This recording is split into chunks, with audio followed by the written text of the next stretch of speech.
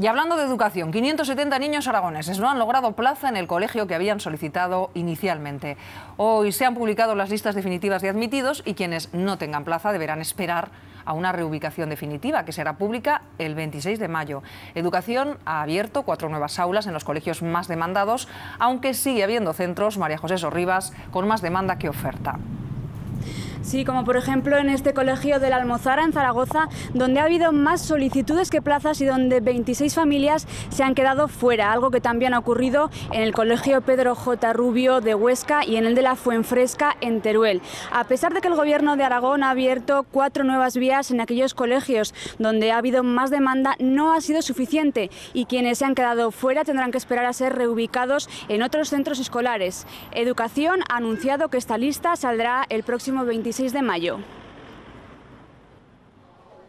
Era la última esperanza para los padres de 572 niños pendientes de saber a qué colegio irán en septiembre. Hoy han salido de dudas. Sí que está admitido mi hijo, pero porque como ya tenía un hermano matriculado en el centro, contaba con ocho puntos más. O han confirmado lo que ya temían. Es que nos quedamos eh, fuera, fuera de, las listas, debido a que una, una mala planificación desde un principio. Llevamos varios años viviendo aquí en el barrio, siempre habíamos dado por sentado que podríamos entrar aquí porque nunca había habido problema de plazas. Aquí en este colegio de Zaragoza han estado todo el proceso de escolarización pendientes de si contaban con un aula más.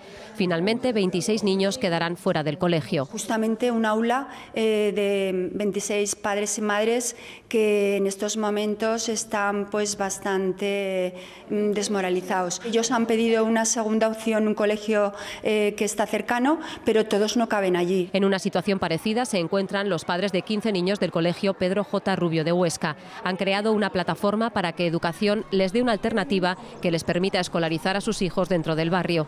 Lo mismo pide un grupo de padres del colegio La Fuenfresca de Teruel, que hoy comienzan una recogida de firmas.